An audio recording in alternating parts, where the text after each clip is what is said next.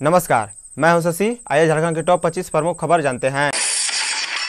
भारतीय रेलवे ने कोरोना काल में सभी स्वास्थ्य प्रोटोकॉल को ध्यान में रखते हुए चलाई जा रही ट्रेनों की संख्या में अगले माह से और बढ़ोतरी करने की योजना पर काम कर रहा है। जानकारी के अनुसार त्यौहार के दौरान अक्टूबर और नवंबर की संभावित यात्री संख्या को देखते हुए व्यस्तम रूटों पर लगभग 80 और नई ट्रेनें चलाई जा सकती है। आपको बता दें कि इन दो महीना में दशहरा, दीपावली, नवरात्रि दूज, छठ और जैसी त्यौहार पड़ रहे हैं। इनमें अपने घर आने जाने वाले लोगों को कोई दिक्कत ना हो, इसे देखते हुए रेलवे ने फैसला किया है।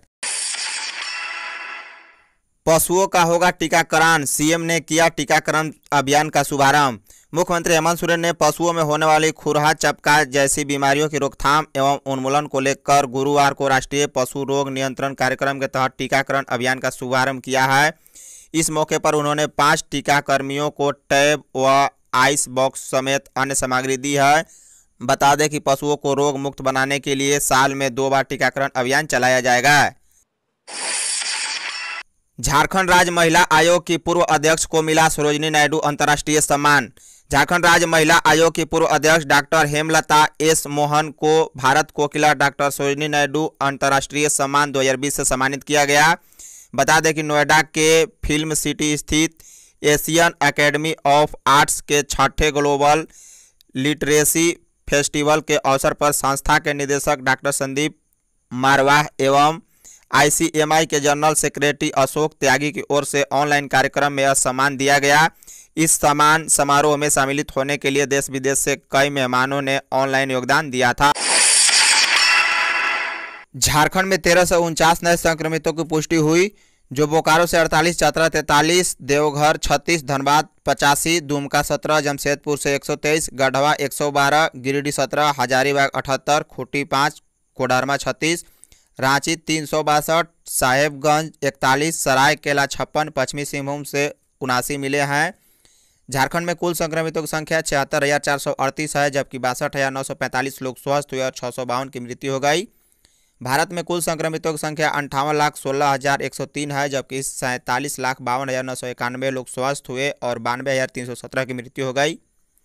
भारत में नए केस पचासी हज़ार नौ सौ उन्नीस मिले हैं, जबकि इक्यासी हज़ार एक सौ इकतालीस मरीज़ स्वस्थ भी हुए हैं। झारखंड में गुरुवार को चार की मौत हुई है, जो पूर्वी सिंहभूम से तीन और रामगढ़ से एक की मौत हुई है। गुरुवार को राज्य में तेरह सौ छियासी मरीज़ स्वस्थ भी हुए हैं, एक्टिव केस इस प्रकार हैं। रांची, छत्तीस सौ चौबीस, पूर्वी सिंहभूम, पच्चीस सौ सैंतीस, धनबाद, नौ सौ उनचालीस, हजारीबाग छः सौ इकसठ, पश्चिमी सिंहभूम, चार सौ उनतीस, बोकारो, चार सौ सोलह, सरायकला, चार सौ एक, चतरा, तीन सौ चौदह, देवघर, एक सौ बयासी, दुमका, दो सौ उनतीस, गढ़वा, दो सौ, गिरिडीह, दो सौ अट्ठाईस गोडा दो सौ उनचालीस, गुमला, तीन सौ छत्तीस, जामतड़ा अंठानवे खूंटी, दो सौ छियालीस, कोडरमा, तीन सौ इक्यासी, लातेहार, दो सौ उनचालीस, लोहरदगा, दो सौ तैंतीस पाकुड़ तिरासी, पलामू, एक सौ इक्यानवे रामगढ़, तीन सौ एक, साहेबगंज, एक सौ इक्कीस सिमडेगा 213 मरीज़ राज्य में एक्टिव हैं। साइबर ठगों पर नकेल कसेंगे झारखंड के युवा। साइबर ठगी के मामले में झारखंड पूरे देश में कुख्यात है, खासकर राज्य के जामतड़ा जिला को लेकर हमेशा बदनामी होती रही है। बता दें कि अब झारखंड के युवा ही इन साइबर ठगों पर नकेल कसेंगे। इसके लिए युवाओं को प्रशिक्षण दिया जा रहा है। इंटरनेट पर बढ़ती निर्भरता के बीच डाटा की सुरक्षा को लेकर खतरा बढ़ गया है। इसी वजह से लगातार हैकिंग, डाटा लीक एवं साइबर ठगी के मामले में सामने आ रहे हैं। बता दें कि इसी को देखते हुए युवाओं को साइबर सुरक्षा से संबंधित ऑनलाइन प्रशिक्षण देने की शुरुआत की गई है।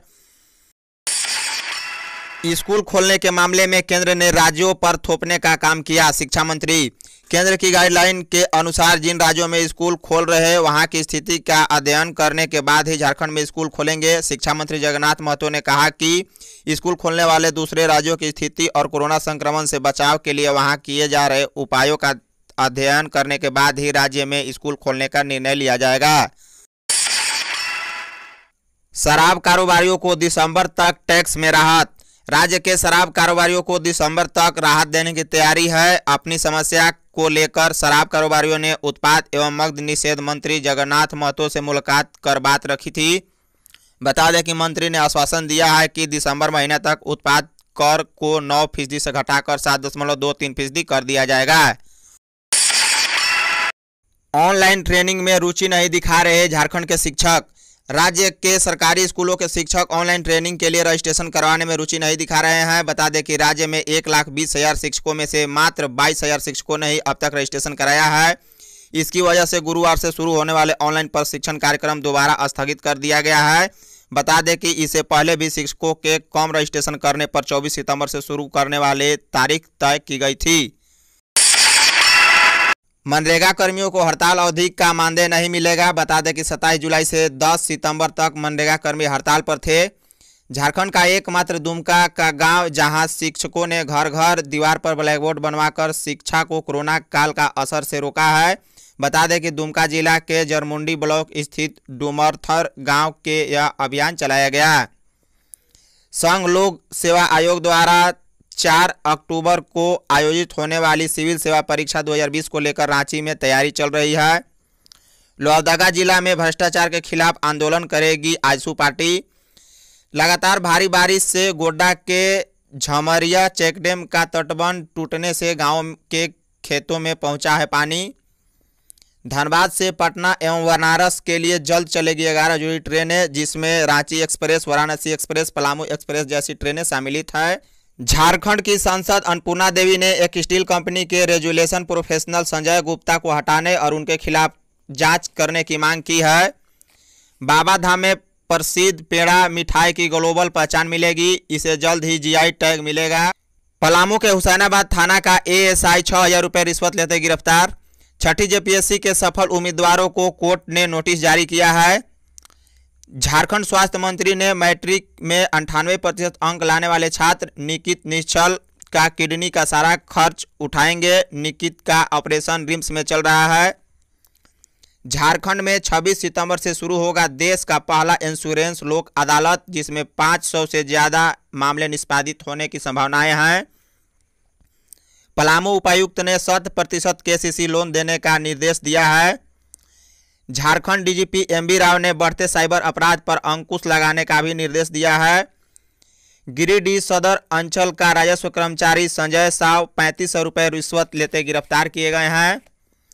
देवघर में लगातार बारिश होने से कई घर गिर चुके हैं। बता दें कि देवघर के देवरीपुर प्रखंड के दोहा गाँव में 20 मिट्टी का मकान गिर चुका है। रामगढ़ थाना क्षेत्र अंतर्गत छोहाड़ा से भरा एक ट्रक पलट गया, जिसे ग्रामीणों ने लूटकर अपने घर ले गए। अंतर्राज्यीय चलने वाली बसों के खिलाफ अभियान चलाया गया, जिसमें तीन बस को जब्त भी किया गया। जामताड़ा के वरिष्ठ समाज सेवी जामताड़ा नगर पंचायत पूर्व अध्यक्ष वीरेंद्र मंडल के द्वारा सैलून संचालकों के बीच मास्क और सैनिटाइजर का वितरण किया गया। धन्यवाद। आज के लिए बस इतना ही। कल से आपको नियमित रूप से उसी तरह से वीडियो मिलते रहेंगे तो वीडियो को एक लाइक कर, अपने दोस्तों के साथ शेयर अवश्य करें। आपसे रिक्वेस्ट रहेगा, आप अपनी फेसबुक पर अवश्य शेयर करें, साथ ही साथ व्हाट्सएप ग्रुप में भी शेयर करें, जिससे कि झारखंडी न्यूज़ का विस्तार हो सके। थैंक यू जय हिंद, जय भारत।